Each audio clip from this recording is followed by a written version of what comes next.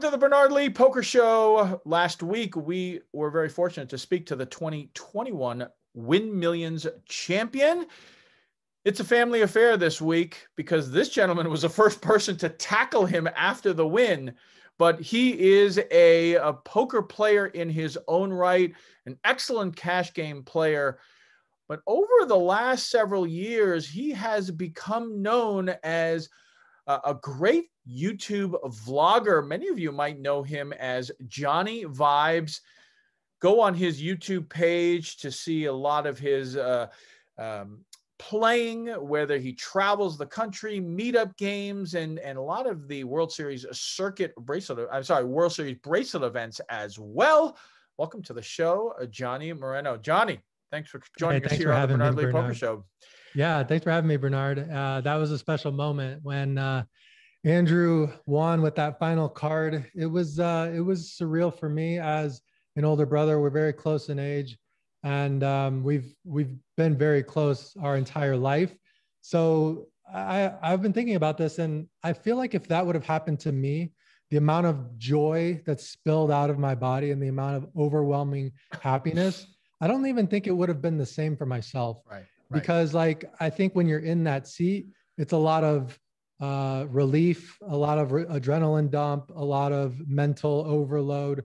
But for myself, as like someone who's, you know, very close to Andrew, I was detached from all that. The only thing I was focused on was that card coming down and the joy that was accompanying it. So right. it was a special moment for me and uh, something that I'll never forget. Yeah, they talk about it a lot. My uh, my son plays a lot of sports. My daughter plays a lot of sports. Watching it compared to playing in it and it's just so different. And it's you know the joy of watching your kids or anyone close to you do something well.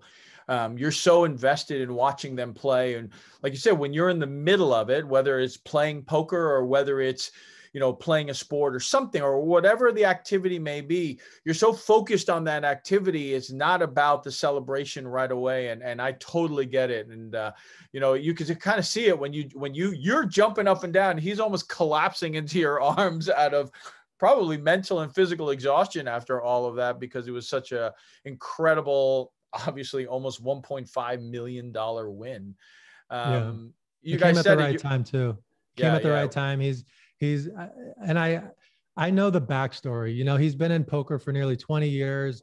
He right. didn't go to college. He tried college for a second, but like when he was 19 years old, he was diving into the poker world. And you know, 20 years, he's almost four, he's 39, almost 30, he's 38 now. So almost 20 years of grinding. And I just know the ups and the downs that he's experienced in his life, the ups and downs that he's experienced in his relationship with Christy, and just everything. It's just a culmination, you know, having his first child, being born in August, never having a million dollar score, never really having massive scores in tournaments. Um, always kind of been a primarily a cash game player. So knowing the struggles that have been in their relationship and that they've had in their poker life, it just feels extra special to me. Like, I don't know, like whenever there are tribulations in your life, the ups feel that much more special and sure. that's that's also another reason why um, I was just so overwhelmed. And also, he's never had a score of that magnitude, so it was uh, it feels like a once in a lifetime thing.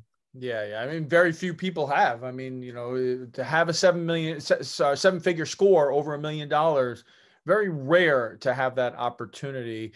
Um, you you guys like you said you're very close um, and you really kind of grew up playing poker together. I'd love for my listeners to kind of get the story from your side. We heard a little bit from andrew of his side of how he started. Love to hear your side of how uh, you started and how kind of andrew got you into this game and how you really started developing your game itself as, as really a, a solid uh, mid-stakes grinder that has been so successful for over a decade yeah, uh, definitely. So we had an interesting dynamic as as like the older brother.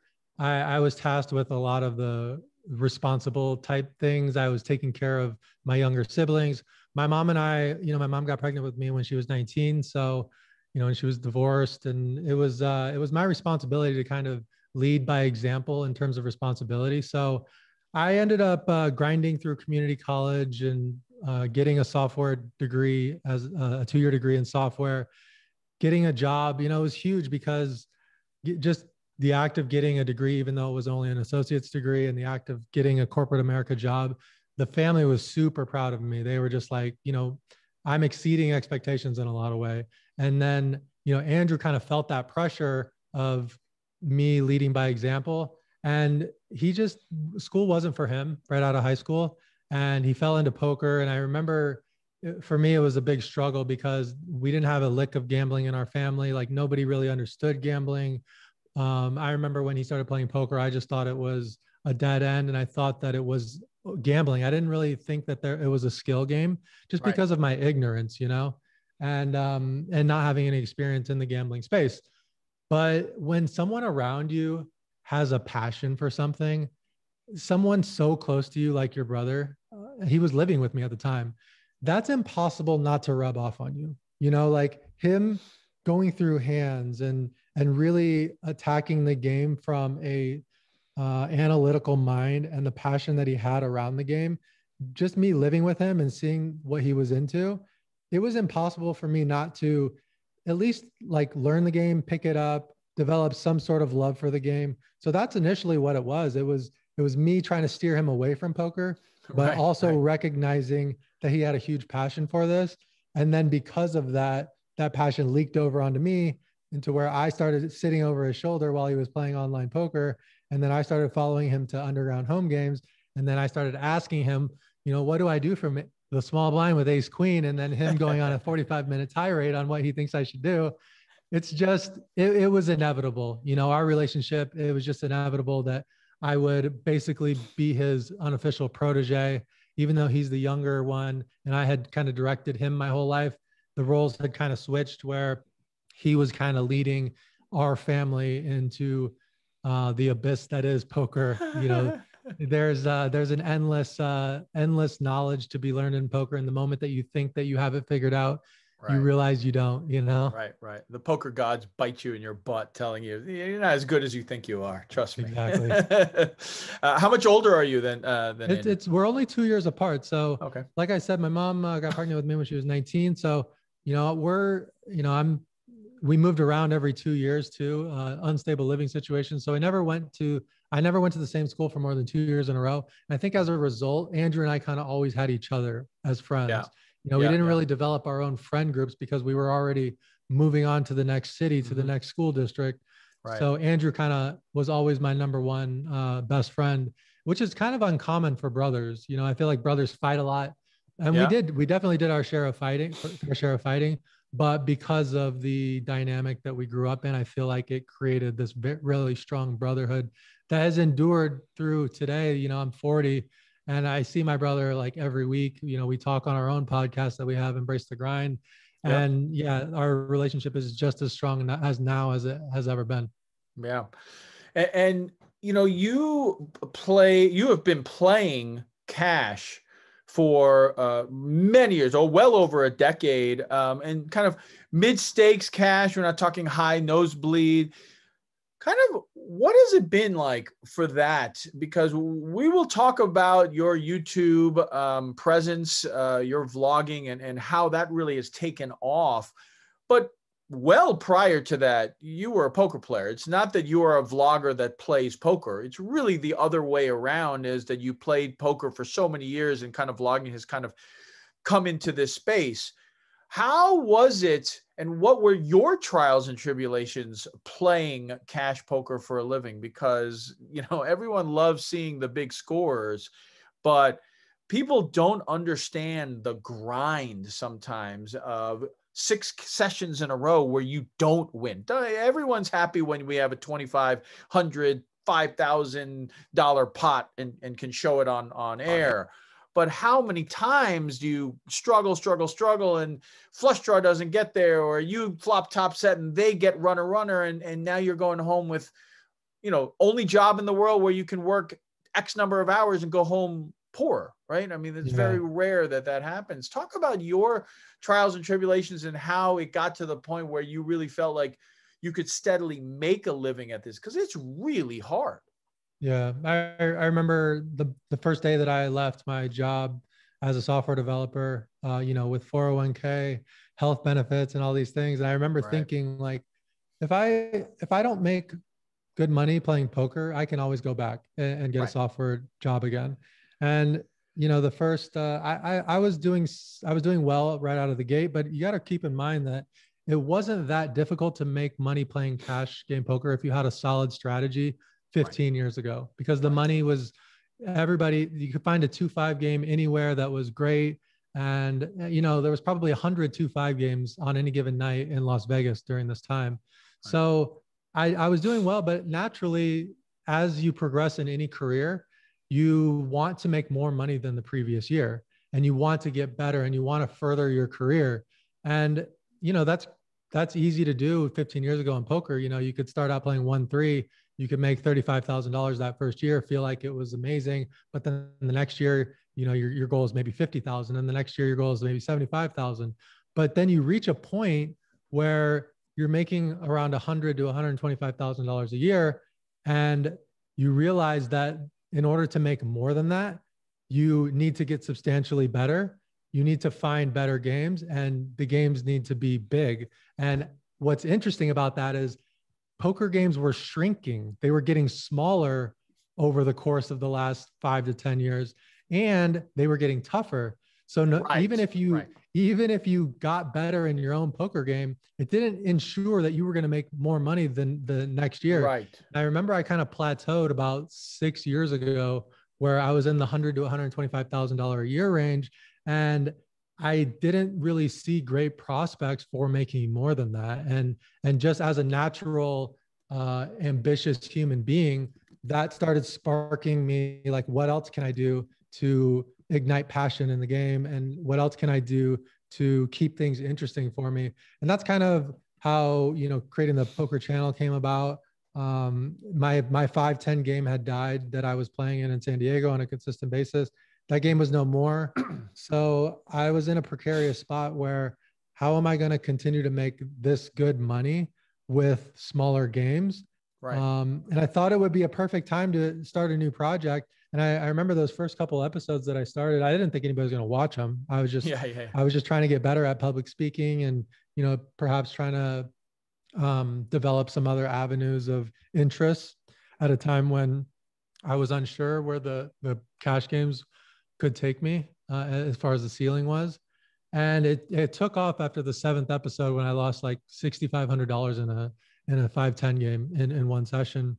I picked up the camera and I put it in my face and I was like, this sucks because like this game doesn't run 24 hours anymore. Right. You know, I got like eight hours a day that I can play this game. It might take me a while to win back 6,500. So I kind of shared that on my YouTube channel and the algorithm picked it up and they're like, wow, this is a real poker player that's right. making YouTube videos.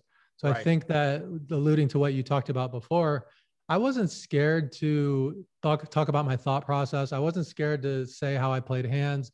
I was confident in my poker game. I think one thing that a lot of people have have happen is there are newer poker players that are making YouTube content, so they're kind of more uh, afraid to just say what happened, right? And, and like you know, because people are going to show up in the comments and be like, oh, you played that like an idiot, or right, right. what are you doing three betting with that hand?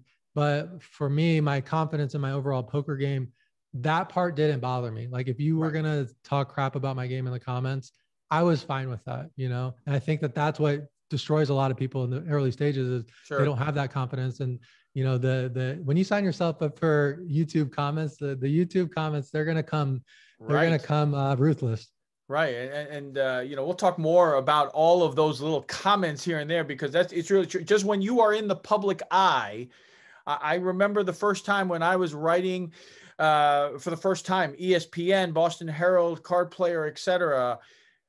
Boy, some of the comments you get and I, I will tell you, at least from my personal experience, the first couple of years, you, it's hard not to take it personal. It's really yeah. hard not to take it personal. One hundred percent. And after a while, you realize, and I, I heard, um, I, I, saw uh, an interview that you had, and I think I, I completely agree with you. Is, is that when somebody is making that kind of comment, they're making that comment through a, uh, you know, through glasses that they're dealing with And so whether it's jealousy, whether it's, you know, um, they feel it's unfair, exactly. Yeah. Whether it's they're not playing well, whatever it is, you just don't know what's going on with their life. And so they're unfortunately, you know, spilling it over to you.